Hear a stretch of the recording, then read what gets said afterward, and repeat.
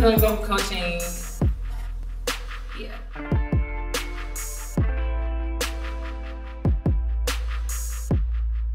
I took lessons um, maybe about six years ago or so. Um, super helpful.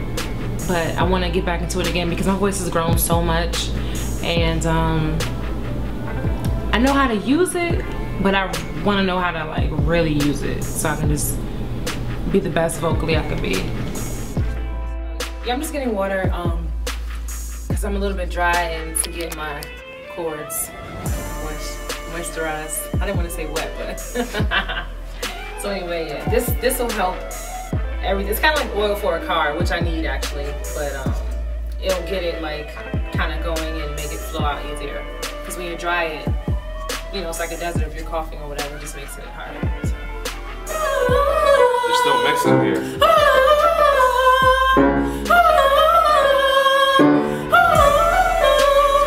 We just finished. I just finished lessons.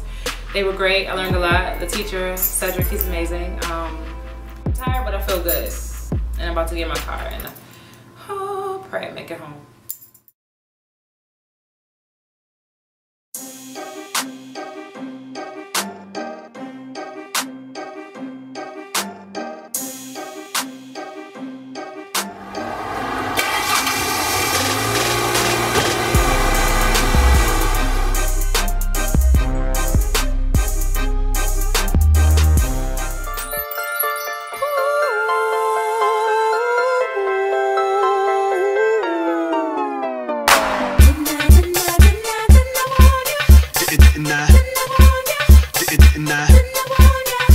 Just want you to know that I'm thinking about you.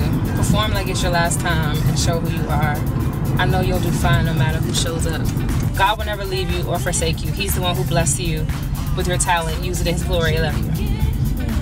Just so sweet. Aww. I'm jittery now, but I'm sure once I step on the stage,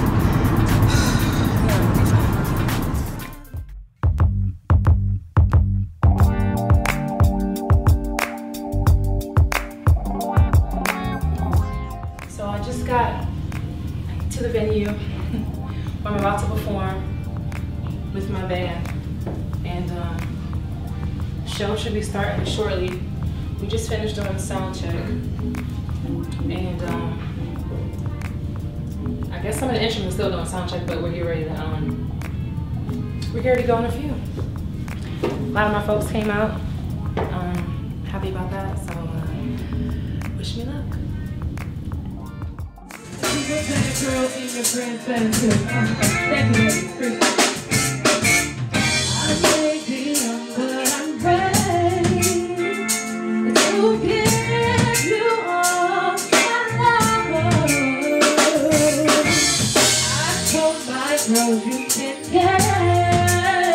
Okay, so performing for me is amazing. It's probably the best part about being an artist to me, uh, besides creating music. Um, it just makes me happy. Like, if I could do that shit every day, I would. I will one day.